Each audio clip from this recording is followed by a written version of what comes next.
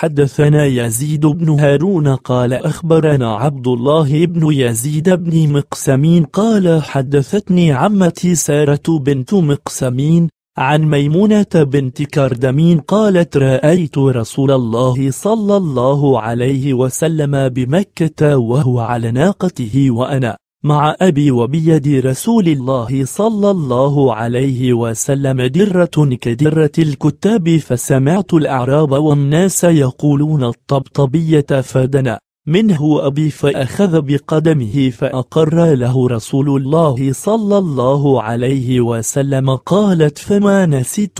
فيما نسيت طول أصبع قدمه السبابة على صائر أصابعه قالت فقال له أبي إني شهدت جيش عثران قالت فعرف رسول الله صلى الله عليه وسلم ذلك الجيش فقال طارق بن المرقع من يعطيني رمحا بثوابه؟ قال فقلت وما ثوابه؟ قال أزوجه أول بنت تكون لي؟ قال فأعطيته رمحي رمحي ثم تركته حتى ولدت له أبنة وبلغت فأتيته فقلت له جهز لي أهلي فقال لا والله لا أجهزها حتى تحدث صداقا غير ذلك فحلفت أن لا أفعل فقال رسول الله صلى الله عليه وسلم وبقدر أي النساء هي قال قد رأت القتير قال فقال لي رسول الله صلى الله عليه وسلم دعها عنك لا خير لك فيها قال فراعني ذلك ونظرت له فقال رسول الله صلى الله عليه وسلم لا تأثم ولا يأثم صاحبك قالت فقال له أبي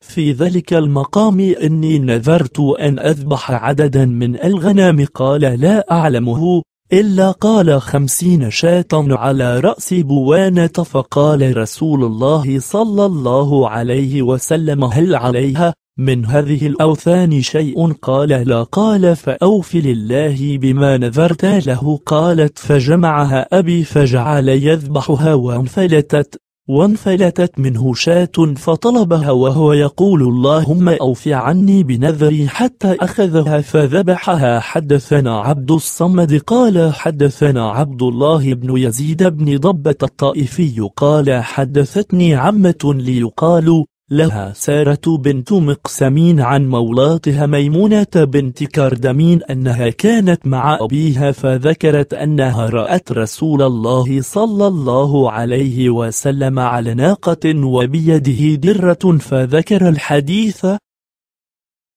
حن أبو أحمد قال حدثنا عبد الله يعني ابن عبد الرحمن بن يعلى الطائفية عن يزيد بن مقسمين عن مولاته ميمونة بنت كردمين قالت كنت ردف أبي فسمعته يسأل النبي صلى الله عليه وسلم فقال يا رسول الله إني نذرت أن أنحر ببوانة فقال أبي هوثن أم طغية فقال لا قال أوفي بنذرك